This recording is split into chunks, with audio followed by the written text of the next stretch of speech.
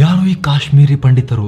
Friends Kashmiri ಪಂಡಿತರನ್ನ ಕಾಶ್ಮೀರಿ ಬ್ರಾಹ್ಮಿಣ್ಸ್ ಅಂತ ಕೂಡ ಕರೀತಾರೆ. ಇವರು ಹಿಂದೂ ಧರ್ಮದ ಸರಸ್ವತ್ ಬ್ರಾಹ್ಮಣ ಸಮುದಾಯಕ್ಕೆ ಸೇರಿದವರು. ಇಂತಹ ಕಾಶ್ಮೀರಿ ಪಂಡಿತರು ಮೂಲತಃ ಕಾಶ್ಮೀರ ಕಣಿವೆಯವರು. ಸಾವಿರದ ಒಂಬೈನೂರ ನಲವತ್ತೇಳರಲ್ಲಿ ಭಾರತಕ್ಕೆ ಸ್ವಾತಂತ್ರ್ಯ ಸಿಕ್ಕಾಗ ಜಮ್ಮು ಕಾಶ್ಮೀರ ಡೋಗ್ರಾ ರಾಜವಂಶದ ಆಳ್ವಿಕೆಯಲ್ಲಿತ್ತು. ಅದಕ್ಕೂ ಹಿಂದೆ ಸಿಖ್ ಸಾಮ್ರಾಜ್ಯದ ಆಳ್ವಿಕೆಗೆ ಒಳಪಟ್ಟಿತ್ತು. ಡೋಗ್ರಾ ರಾಜವಂಶದ ಕೊನೆ ರಾಜ ಹರಿ ಸಿಂಗ್ ಸಾವಿರದ ಒಂಬೈನೂರ ನಲವತ್ತೇಳರಲ್ಲಿ ದೇಶ ವಿಭಜನೆಯಾದಾಗ ಜಮ್ಮು ಕಾಶ್ಮೀರದ ಮಹಾರಾಜ ಆಗಿದ್ದ ಈ ಹರಿಸಿಂಗ್ ಜಮ್ಮು ಕಾಶ್ಮೀರವನ್ನು ಭಾರತಕ್ಕೂ ಸೇರಿಸದೆ, ಪಾಕಿಸ್ತಾನಕ್ಕೂ ಸೇರಿಸದೆ ಸ್ವತಂತ್ರವಾಗಿ ಉಳಿಯೋಕೆ ಆಸೆಯನ್ನು ಹೊಂದಿದ್ರು. ಬಳಿಕ ಪಾಕ್ ಸೇನೆ ಜಮ್ಮು ಕಾಶ್ಮೀರದ ಮೇಲೆ ದಾಳಿ ಮಾಡಿದಾಗ ಭಾರತೀಯ ಸೇನೆಯ ನೆರವನ್ನು ಕೇಳಿದ ಹರಿ ಸಿಂಗ್ ಭಾರತದೊಂದಿಗೆ ಜಮ್ಮು ಕಾಶ್ಮೀರವನ್ನು ವಿಲೀನಗೊಳಿಸುವ ಒಪ್ಪಂದಕ್ಕೆ ಸೈನ್ ಹಾಕಿದ್ರು. ಆದರೆ ಜಮ್ಮು ಪ್ರಾಂತ್ಯದ ಪಶ್ಚಿಮ ಭಾಗ, ಅಂದರೆ ಈಗ ಪಾಕ್ ಆಕ್ರಮಿತ ಕಾಶ್ಮೀರದಲ್ಲಿ ಬರುತ್ತಲ್ಲ, ಆಜಾದ್ ಕಾಶ್ಮೀರ್ ಮತ್ತು ಫ್ರಂಟಿಯರ್ ಡಿಸ್ಟ್ರಿಕ್ಸ್ ಪ್ರಾಂತ್ಯ, ಅಂದರೆ ಈಗಿನ ಗಿಲ್ಗಿಟ್ ಬಲ್ಟಿಸ್ತಾನದ ಮುಸ್ಲಿಮರು ಪಾಕಿಸ್ತಾನಕ್ಕೆ ಸೇರಬೇಕು ಅಂತ ಅಂದ್ಕೊಂಡಿದ್ರು ಹೀಗಾಗಿ ಮಹಾರಾಜ ಹರಿ ಸಿಂಗ್ ಸೇನೆ ವಿರುದ್ಧ ಇವರೆಲ್ಲ ದಂಗೆಗಳನ್ನು ಶುರು ಮಾಡಿದ್ರು. ಮಹಾರಾಜರ ಆಳ್ವಿಕೆಯಿಂದ ಜಮ್ಮು ಕಾಶ್ಮೀರವನ್ನು ಸ್ವತಂತ್ರಗೊಳಿಸಲಿಕ್ಕೆ ಅಂತ ಹೇಳಿ ಪಶ್ತೂನ್ ಬುಡಕಟ್ಟು ಯೋಧರು ಅಂತ ಹೇಳಿದ ತಕ್ಷಣ ಪಾಕಿಸ್ತಾನ ಸೈನಿಕರು ಕೂಡ ಆ ವೇಷದಲ್ಲಿ ಬಂದ್ಬಿಟ್ಟಿದ್ರು. ಮಹಾರಾಜನ ಸೇನೆಗೆ ತಡಿಲಿಕ್ಕೆ ಆಗಲಿಲ್ಲ. ಹೀಗಾಗಿ ಭಾರತಕ್ಕೆ ಸೇರೋ ಒಪ್ಪಂದಕ್ಕೆ ರಾಜ ಹರಿಸಿಂಗ್ ಸೈನ್ ಹಾಕಿದ್ರು. ಕೂಡಲೇ ಶ್ರೀನಗರಕ್ಕೆ ಭಾರತ ಸೇನೆಯನ್ನು ಕಳಿಸ್ತು. ಆ ಕಡೆಯಿಂದ ಪಾಕಿಸ್ತಾನ ಕೂಡ ಬಂತು. ಎರಡು ದೇಶಗಳ ಸಂಘರ್ಷ ನಡೀತು. ವಿಚಾರ ವಿಶ್ವಸಂಸ್ಥೆಗೆ ತೆಗೆದುಕೊಂಡು ಹೋದರು ನೆಹರು. ಆದರೆ ಸಮಸ್ಯೆ ಇನ್ನೂ ಕೂಡ ಬಗೆಹರಿದಿಲ್ಲ. ಈ ಪಾಕ್ ಆಕ್ರಮಿತ ಪ್ರದೇಶವನ್ನು ಭಾರತ ಪಿ ಅಂತ ಕರೆದ್ರೆ ಪಾಕಿಸ್ತಾನ, ಗಿಲ್ಗಿಟ್, ಬಾಲ್ಟಿಸ್ತಾನ್ ಮತ್ತು ಆಜಾದ್ ಕಾಶ್ಮೀರ್ ಅಂತ ಮಾಡಿಕೊಂಡು ಆಡಳಿತವನ್ನು ನಡೆಸ್ತಾ ಇದೆ. ಹೀಗೆ? ವರ್ಷ ಕಳೆದಂತೆ ಕಾಶ್ಮೀರ ಕಣಿವೆಯಲ್ಲಿ ಇಸ್ಲಾಂ ಪ್ರಭಾವ ಹೆಚ್ಚಾದಂತೆ ಹಲವು ಕಾಶ್ಮೀರಿ ಪಂಡಿತರನ್ನು ಒತ್ತಾಯಪೂರ್ವಕವಾಗಿ ಇಸ್ಲಾಂಗೆ ಕನ್ವರ್ಟ್ ಮಾಡಲಾಯಿತು. ಹಲವು ಕಾಶ್ಮೀರಿ ಪಂಡಿತರು ವರ್ಷ ಕಳೆದಂತೆ ಜಮ್ಮು ಕಾಶ್ಮೀರದಿಂದ ಹೊರಗೆ ಬಂದು ಬೇರೆ ಬೇರೆ ರಾಜ್ಯಗಳಲ್ಲಿ ಆಶ್ರಯವನ್ನು ಕೂಡ ಪಡೆದರು. ಇಂತಹ ಕಾಶ್ಮೀರಿ ಪಂಡಿತರು ಅಥವಾ ಕಾಶ್ಮೀರಿ ಹಿಂದೂಗಳು ದೊಡ್ಡ ಪ್ರಮಾಣದಲ್ಲಿ ಹೊರಬಂದಿದ್ದು ಸಾವಿರದ ಒಂಬೈನೂರ ತೊಂಬತ್ತರ ದಶಕದಲ್ಲಿ. ಕಾರಣ ಜಮ್ಮು ಕಾಶ್ಮೀರವನ್ನು ಸ್ವತಂತ್ರಗೊಳಿಸಬೇಕು ಅಂತ ಹುಟ್ಟಿಕೊಂಡಿದ್ದ ಉಗ್ರ ಸಂಘಟನೆಗಳು ಮತ್ತು ಇಸ್ಲಾಮಿಕ್ ದಂಗೆಕೋರರು ಕಾಶ್ಮೀರಿ ಪಂಡಿತರನ್ನ ಹಿಂದೂಗಳನ್ನು ಗುರಿಯಾಗಿಸಿಕೊಂಡು ಮಾಡಿದಂತಹ ಹತ್ಯೆ, ಹಿಂಸಾಚಾರ ಇತ್ಯಾದಿ ಇತ್ಯಾದಿ. ಅಂದ ಹಾಗೆ ಇದೆಲ್ಲ ಶುರುವಾಗೋದು ಸಾವಿರದ ಒಂಬೈನೂರ ಎಂಬತ್ತರ ದಶಕದ ಅಂತ್ಯ ಮತ್ತು ಸಾವಿರದ ಒಂಬೈನೂರ ತೊಂಬತ್ತರ ದಶಕದ ಆರಂಭದಲ್ಲಿ. ಮೊದಲಿಗೆ ಸಾವಿರದ ಒಂಬೈನೂರ ಎಂಬತ್ತೊಂಬತ್ತರಲ್ಲಿ ಟಿಕಾಲಾಲ್ ಟಪ್ಲು ಅನ್ನೋ ವಕೀಲ, ಕಂ ಪಿ ನಾಯಕ, ಈತನನ್ನು ಆತನ ಮನೆಯಲ್ಲೇ J K L F, Jammu Kashmir liberation front ಸಂಘಟನೆ ಹತ್ಯೆ ಮಾಡಿತು. ಅದಾದ ಬಳಿಕ ಜೆ ಕೆ ಎಲ್ ಎಫ್ ನಾಯಕನಿಗೆ ಗಲ್ಲು ಶಿಕ್ಷೆ ನೀಡಿದ್ದ ಶ್ರೀನಗರ ಹೈಕೋರ್ಟ್ನ ಜಡ್ಜನ್ನು ಗುಂಡಿಕ್ಕಿ ಹತ್ಯೆ ಮಾಡಲಾಯಿತು. ಅದೇ ವರ್ಷ ಕೇಂದ್ರ ಗೃಹ ಮಂತ್ರಿಯಾಗಿದ್ದ ಮುಫ್ತಿ ಮಹಮ್ಮದ್ ಸಯೀದ್ ಅವರ ಮಗಳು ಡಾಕ್ಟರ್ ರುಬಯ್ಯಾ ಸಯೀದ್ರನ್ನ ಜೆ ಕೆ ಎಲ್ ಎಫ್ ಸಂಘಟನೆ ಅಪಹರಣ ಮಾಡಿತು. ರುಬಯ್ಯಾ ಸಯೀದ್ರನ್ನ ರಿಲೀಸ್ ಮಾಡಬೇಕು ಅಂದರೆ ಐವರು ಉಗ್ರಗಾಮಿಗಳ ಬಿಡುಗಡೆ ಮಾಡಬೇಕು ಅಂತ ಡಿಮಾಂಡ್ ಇಡಲಾಯಿತು. ಅದರಂತೆ ಉಗ್ರಗಾಮಿಗಳನ್ನು ರಿಲೀಸ್ ಕೂಡ ಮಾಡಲಾಯಿತು. ನಂತರ ಸಾವಿರದ ಒಂಬೈನೂರ ತೊಂಬತ್ತರ ಜನವರಿ ನಾಲ್ಕನೇ ತಾರೀಕು ಸ್ಥಳೀಯ ನ್ಯೂಸ್ ಪೇಪರ್ ಒಂದರಲ್ಲಿ ಒಂದು ಆರ್ಟಿಕಲ್ ಪಬ್ಲಿಷ್ ಆಯಿತು. ಅದರಲ್ಲಿ ಕಾಶ್ಮೀರದಲ್ಲಿರೋ ಎಲ್ಲ ಹಿಂದೂಗಳು ಶೀಘ್ರವೇ ಕಾಶ್ಮೀರ ಬಿಟ್ಟು ಹೋಗಬೇಕು ಅನ್ನೋ ವಾರ್ನಿಂಗ್ ಕೊಡಲಾಗಿತ್ತು. ಹಿಜ್ಬುಲ್ ಉಗ್ರ ಸಂಘಟನೆಯ ಮೂಲಗಳನ್ನು ಉಲ್ಲೇಖಿಸಿ ಈ ವಾರ್ನಿಂಗ್ ಅನ್ನು ಪ್ರಕಟಿಸಲಾಗಿದೆ ಅಂತ ನ್ಯೂಸ್ ಪೇಪರ್ನವರು ಬರೆದಿದ್ರು. ಏಪ್ರಿಲ್ನಲ್ಲಿ ಮತ್ತೊಂದು ನ್ಯೂಸ್ ಪೇಪರ್ನಲ್ಲಿ ಇಂತಹದ್ದೇ ಎಚ್ಚರಿಕೆಯನ್ನು ಪಬ್ಲಿಷ್ ಮಾಡಲಾಯಿತು. ಇಷ್ಟು ಮಾತ್ರ ಅಲ್ಲದೆ ಸಾರ್ವಜನಿಕ ಸ್ಥಳಗಳಲ್ಲಿ ಪೋಸ್ಟರ್ಗಳನ್ನು ಅಂಟಿಸಿ ಕಾಶ್ಮೀರದಲ್ಲಿರೋ ಎಲ್ಲರೂ ಕಟ್ಟುನಿಟ್ಟಾಗಿ ಎಲ್ಲರೂ ಕೂಡ ಇಸ್ಲಾಮಿಕ್ ಕಾನೂನುಗಳನ್ನು ಪಾಲಿಸಬೇಕು ಅಂತ ಎಚ್ಚರಿಸಲಾಯಿತು. ಇಸ್ಲಾಮಿಕ್ ಶೈಲಿಯ ಡ್ರೆಸ್ ಕೋಡ್ ಆಗಿರಬಹುದು, ಮದ್ಯಪಾನ ನಿಷೇಧ ಆಗಿರಬಹುದು, ಸಿನಿಮಾಗಳ ಬ್ಯಾನ್ ಆಗಿರಬಹುದು, ಮಹಿಳೆಯರ ಮೇಲೆ ಕಠಿಣ ನಿರ್ಬಂಧ ಆಗಿರಬಹುದು ಇತ್ಯಾದಿ ಇತ್ಯಾದಿ. ಇನ್ನು ಕೆಲ ಉಗ್ರಗಾಮಿಗಳಂತೂ ಜನ ತಮ್ಮ watch ಗಡಿಯಾರಗಳಲ್ಲಿ Pakistan standard time, I S T ಬದಲಿಗೆ ಪಿ ಎಸ್ ಟಿಯನ್ನು ಸೆಟ್ ಮಾಡುವಂತೆ ಒತ್ತಡವನ್ನು ಹೇರಿದ್ರು. ಸರ್ಕಾರಿ ಕಚೇರಿ, ಅಂಗಡಿ ಮುಂಗಟ್ಟು ಮುಂತಾದ ಕಟ್ಟಡಗಳಿಗೆ ಹಸಿರು ಬಣ್ಣದ ಪೇಂಟಿಂಗ್ ಮಾಡಿಸಲಾಯಿತು. ಅಷ್ಟೇ ಅಲ್ಲ, ಕಾಶ್ಮೀರಿ ಹಿಂದೂ ಮನೆ, ಅಂಗಡಿ, ಕಾರ್ಖಾನೆ, ಧಾರ್ಮಿಕ ಸ್ಥಳಗಳಿಗೆ ಬೆಂಕಿ ಇಡಲಾಯಿತು, ಧ್ವಂಸ ಮಾಡಲಾಯಿತು. ಕೆಲ ಹಿಂದೂಗಳ ಮನೆಗಳಿಗೆ ಶೀಘ್ರವೇ ಕಾಶ್ಮೀರ ಬಿಟ್ಟು ಹೋಗಿ ಅನ್ನುವ ಬೆದರಿಕೆಯ ಪೋಸ್ಟರ್ಗಳನ್ನು ಕೂಡ ಅಂಟಿಸಲಾಯಿತು. ಎಲ್ಲಕ್ಕಿಂತ ಮಹತ್ವದ ಘಟನೆ ನಡೆಯುವುದು ಜನವರಿ ಹದಿನೆಂಟು ಹತ್ತೊಂಬತ್ತನೇ ತಾರೀಕು. ಅಂದಹಾಗೆ ಜನವರಿ ಹದಿನೆಂಟರ ರಾತ್ರಿ ಮಸೀದಿಗಳನ್ನು ಹೊರತುಪಡಿಸಿ ಇಡೀ ಕಾಶ್ಮೀರ ಕಣಿವೆಯ ಕರೆಂಟನ್ನು ಕಟ್ ಮಾಡಲಾಗಿತ್ತು. ಆ ರಾತ್ರಿ ಮಸೀದಿಗಳಲ್ಲಿ ಪ್ರಚೋದನಕಾರಿ ಸಂದೇಶಗಳನ್ನು ರವಾನಿಸಲಾಯಿತು. ಮರುದಿನ ಜನವರಿ ಹತ್ತೊಂಬತ್ತನೇ ತಾರೀಕು ಮಸೀದಿಗಳಲ್ಲಿ ಮಹತ್ವದ ಘೋಷಣೆಯೊಂದನ್ನು ಮಾಡಲಾಯಿತು. ಅದೇನು ಅಂದರೆ, ಕಾಶ್ಮೀರಿ ಪಂಡಿತರು ಕಾಫಿರ್ಗಳು. ಕಾಫಿರ್ ಅಂದರೆ ದೇವರ ಮೇಲೆ ನಂಬಿಕೆ ಇಲ್ಲದೆ ಇರೋರು ಅಥವಾ ದೇವರು ಇಲ್ಲ ಅಂತ ನಂಬೋರು ಅಥವಾ ಇಸ್ಲಾಮಿಕ್ ತತ್ವಗಳನ್ನು ಒಪ್ಪದೇ ಇರೋರು ಅಂತ ಜನರಲ್ ಆಗಿ ನೀವು ಅರ್ಥ ಮಾಡ್ಕೋಬಹುದು. ಮೇನ್ಲಿ ಇಸ್ಲಾಮಿಕ್ ತತ್ವಗಳನ್ನು ನಂಬದೇ ಇರೋರು, ಹೊರಗಿನವರು, ಆ ರೀತಿಯಲ್ಲಿ ಅರ್ಥ ಮಾಡ್ಕೊಳ್ಳಿ. ಹೀಗಾಗಿ ಇಂತಹ ಕಾಶ್ಮೀರಿ ಪಂಡಿತ ಪುರುಷರು ಕಾಶ್ಮೀರವನ್ನು ಬಿಟ್ಟು ಹೋಗಬೇಕು ಅಥವಾ ಅವರನ್ನು ಇಸ್ಲಾಂ ಧರ್ಮಕ್ಕೆ ಮತಾಂತರ ಮಾಡಬೇಕು ಅಥವಾ ಅವರನ್ನು ಸಾಯಿಸಬೇಕು ಅಂತೆಲ್ಲ ಅನೌನ್ಸ್ ಮಾಡಲಾಯಿತು. ಒಂದು ವೇಳೆ ಮೊದಲನೇ ಆಯ್ಕೆಯಾದ ಕಾಶ್ಮೀರ ಬಿಟ್ಟು ಹೋಗೋಕೆ ಕಾಶ್ಮೀರಿ ಪಂಡಿತರು ಮುಂದಾದರೆ ಆಗ ತಮ್ಮ ಹೆಂಗಸರು, ಹೆಣ್ಣು ಮಕ್ಕಳನ್ನು ಇಲ್ಲೇ ಬಿಟ್ಟು ಹೋಗಬೇಕು ಅಂತ ಕೂಡ ಕಂಡೀಷನ್ ಹಾಕಲಾಯಿತು. ಇದರ ಜೊತೆಗೆ ಕಾಶ್ಮೀರಿ ಪಂಡಿತರ ಮನೆಗಳನ್ನು ಹುಡುಕಿ ಅವರನ್ನು ವ್ಯವಸ್ಥಿತವಾಗಿ ಟಾರ್ಗೆಟ್ ಮಾಡಬೇಕು, ಅವರ ಮನೆಗೆ ಹೋಗಿ ಅವರನ್ನು ಇಸ್ಲಾಂ ಧರ್ಮಕ್ಕೆ ಕನ್ವರ್ಟ್ ಮಾಡಬೇಕು ಅಥವಾ ಒಪ್ಪದೆ ಹೋದರೆ ಸಾಯಿಸಬೇಕು ಅಂತೆಲ್ಲ ಪ್ರಚೋದನಕಾರಿ ಸಂದೇಶಗಳನ್ನು ಮಸೀದಿಗಳ ಮೂಲಕವೇ ನೀಡಿದ್ದು ಸಾಕಷ್ಟು ಚರ್ಚೆಗೆ ಗ್ರಾಸವಾದ ವಿಚಾರ ಆ ಸಂದರ್ಭದಲ್ಲಿ. ಇದೇ ಕಾರಣಕ್ಕೆ ಜನವರಿ ಹತ್ತೊಂಬತ್ತನೇ ತಾರೀಕನ್ನು ಎಕ್ಸಡಸ್ ಡೇ ಅಂತಾನೆ ಕಾಶ್ಮೀರಿ ಪಂಡಿತರು ಹಿಂದೂಗಳು ಕನ್ಸಿಡರ್ ಮಾಡ್ತಾರೆ.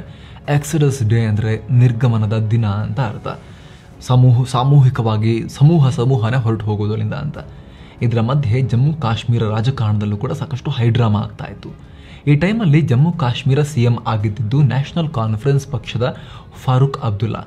ಫಾರೂಕ್ ಅಬ್ದುಲ್ಲಾರನ್ನು ದುರ್ಬಲಗೊಳಿಸೋ ಉದ್ದೇಶದಿಂದ ಅವರ ರಾಜಕೀಯ ವಿರೋಧಿ ಮತ್ತು ಆ ಟೈಮಲ್ಲಿ ಕೇಂದ್ರ ಗೃಹ ಮಂತ್ರಿಯಾಗಿದ್ದ ಮುಫ್ತಿ ಮೊಹಮ್ಮದ್ ಸಯೀದ್ ಅಂದಿನ ಪ್ರಧಾನಿ ವಿ ಪಿ ಸಿಂಗ್ ಜೊತೆಗೆ ಮಾತನಾಡಿ ಜಗಮೋಹನ್ ಮಲ್ಹೋತ್ರಾ ಅವರನ್ನ ಜಮ್ಮು ಕಾಶ್ಮೀರದ ರಾಜ್ಯಪಾಲರನ್ನಾಗಿ ನೇಮಿಸುವಂತೆ ನೋಡಿಕೊಂಡ್ರು.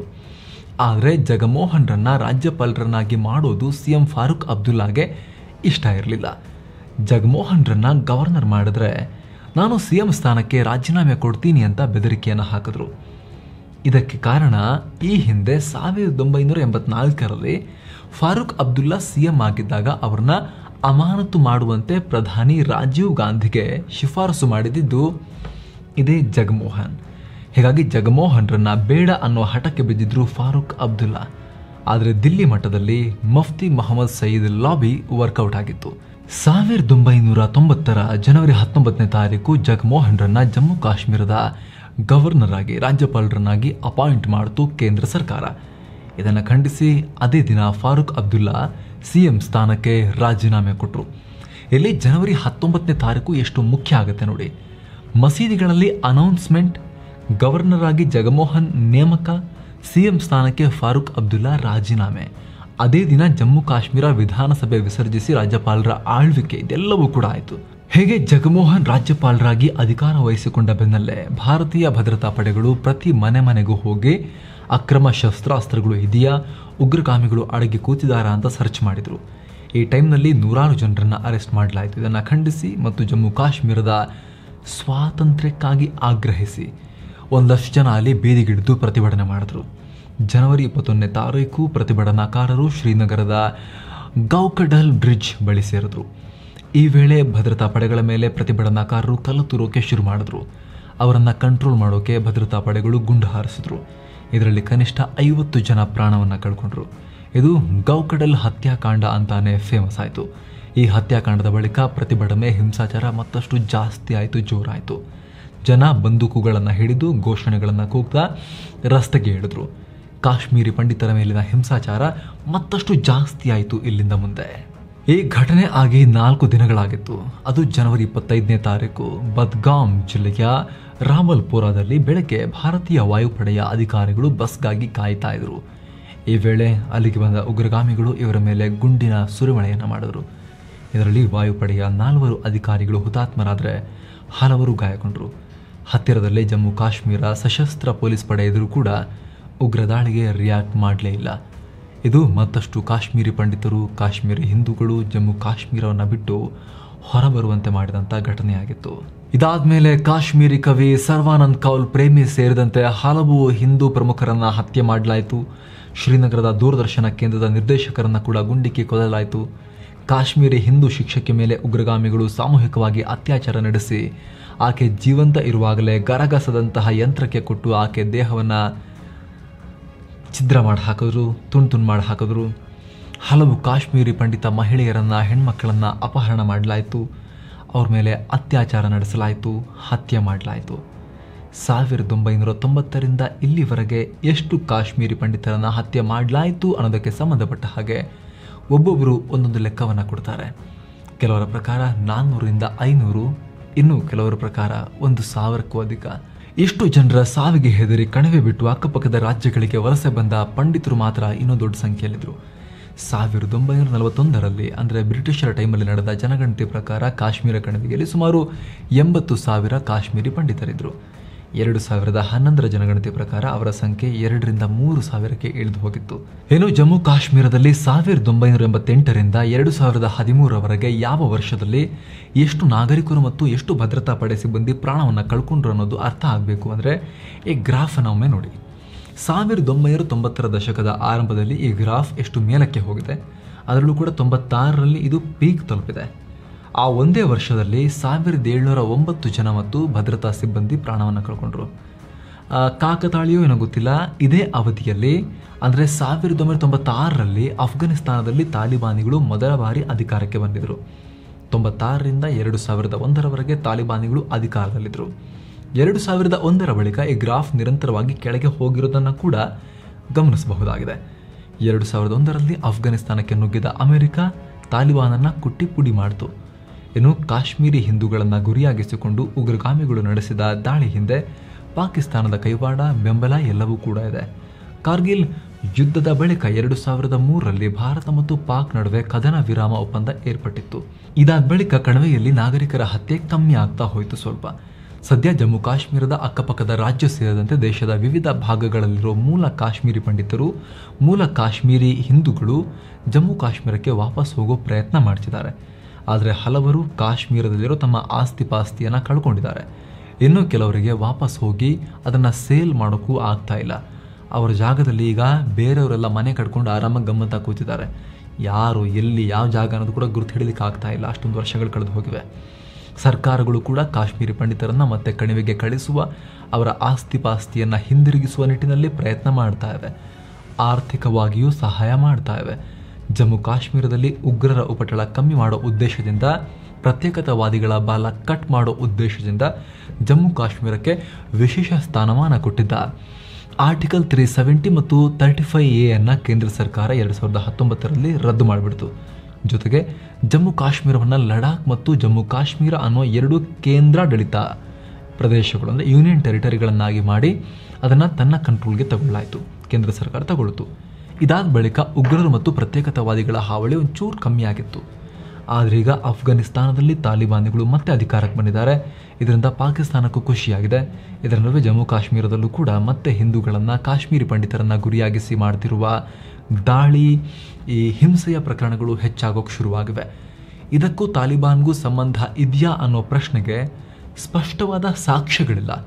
ಆದರೆ ತಾಲಿಬಾನ್ ಅಧಿಕಾರಕ್ಕೆ ಬಂದ ನಂತರ ಕಣಿವೆಯಲ್ಲಿ ಹೆಚ್ಚಾಗ್ತಿರೋ ನಾಗರಿಕ ಹತ್ಯೆ ಭಾರತದ ಟೆನ್ಷನ್ ಜಾಸ್ತಿ ಮಾಡಿದೆ. ತೊಂಬತ್ತರ ದಶಕದಂತೆ ಅಳಿದುಳಿದ ಕಾಶ್ಮೀರಿ ಪಂಡಿತರನ್ನ, ಕಾಶ್ಮೀರಿ ಹಿಂದೂಗಳನ್ನ ಹೊರ ರಾಜ್ಯದವರು ಯಾರು ಕೆಲಸ ಮಾಡ್ತಿದ್ರೆ ಅವ್ರನ್ನ ಕೂಡ ವಾಪಸ್ ಅಲ್ಲಿಂದ ರಾಜ್ಯ ಕಾಶ್ಮೀರವನ್ನು ಬಿಟ್ಟು ಹೋಗುವಂತೆ ಯೂನಿಯನ್ ಟೆರಿಟರಿಗ ಅದನ್ನು ಬಿಟ್ಟು ಹೋಗುವಂತೆ ಮಾಡೋ ಪ್ರಯತ್ನಕ್ಕೇನಾದರೂ ಕೂಡ ಉಗ್ರರು ಕೈ ಹಾಕಿದ್ದಾರ ಅನ್ನೋ ಅನುಮಾನ ಮೂಡುವಂತೆ ಮಾಡಿದೆ. ಸೊ ಫ್ರೆಂಡ್ಸ್ ಇದಾಗಿತ್ತು ಕಾಶ್ಮೀರದ ಈಗಿನ ಪರಿಸ್ಥಿತಿ ಬಗ್ಗೆ ಹಾಗೂ ಇದಕ್ಕಿರೋ ಹಿನ್ನೆಲೆ ಬಗ್ಗೆ ನಿಮಗೆ ಎಕ್ಸ್ಪ್ಲೈನ್ ಮಾಡುವಂಥ ಪ್ರಯತ್ನ. ಈ ವರದಿ ನೋಡಿದ ಬಳಿಕ ಇದನ್ನು ಒಂದು ಐತಿಹಾಸಿಕ ಡಾಕ್ಯುಮೆಂಟ್ ರೀತಿಯಲ್ಲಿ ನೋಡಿ.